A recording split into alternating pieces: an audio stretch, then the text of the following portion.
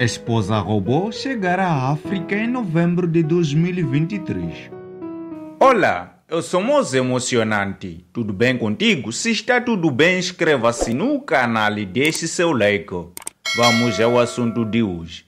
De acordo com um relatório partilhado com o CEO da Tesla e da SpaceX, Elon Musk, a sua empresa está na fase final de fazer uma esposa robô. O Rebot Wives será lançado em setembro de 2023 e chegará à África em novembro do mesmo ano. O robô Wives usará pilhas que duram por um círculo menstrual. As baterias serão carregadas apenas durante os três dias completos e funcionam durante um mês. A esposa robô vai exigir uma senha padrão ou impressão digital, caso queiras partilhar algumas experiências com ela. Em relação ao preço deste robô, vai custar cerca de 3.144 dólares, dependendo das especializações.